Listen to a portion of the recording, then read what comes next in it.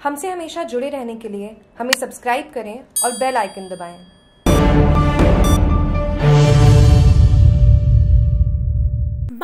विधायक मेवाराम जैन ने अपने विधायक कोटे से 30 लाख रुपए खाद्य सामग्री के लिए स्वीकृत किए और आज उसी पैसे से लाया गया 5,600 परिवारों के लिए गेहूँ उनके घरों के लिए रवाना किया गया। इस दौरान बाड़मेर के जिला कलेक्टर विश्राम मीना बाड़मेर विधायक मेवाराम जैन बाड़मेर के सभापति दिलीप माली समेत कई लोग मौजूद रहे। बाड़मेर विधायक मेवाराम जैन ने कहा कि मुख्यमंत्री अशोक गहलोत ये कई बार कह चुके हैं कि राजस्थान में कोई भी भूखा नहीं सोना चाहिए। इसी को मद्देनजर रखते हुए 5,600 परिवारों के लिए 25 किलो प्रति परिवार के हिसाब से गेहूँ वितरित किया जाएगा।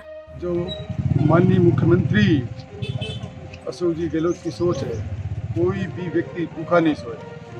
कोई पशु पक्षी भी भूख के कारण या कोई उनको परेशानी नहीं हो उसके तहत ही राजस्थान के मुख्यमंत्री जी के निर्देशानुसार लोगों को खाद्य के किट पहुँचाए जा रहे हैं। अभी हमने जिला प्रशासन द्वारा सर्वे कराया गया जो जिनको लाभ नहीं मिल रहा है, कोई चाहे एन एच एस के गेहूँ हैं, पेंशन है, चाहे पच्चीस सौ रुपये भी हमने और जो श्रमिक मजदूर है, उनको दिए हैं। इसके स्वयं जो परिवार बचे थे, वो छटनी करके करीबन छप्पन सौ परिवार जिनके लिए हमने छाट पच्चीस किलो गेहूँ का किट यहाँ हर पंचायत वाइज, हर वार्ड वाइज पहुँचाने का कार्य किया है।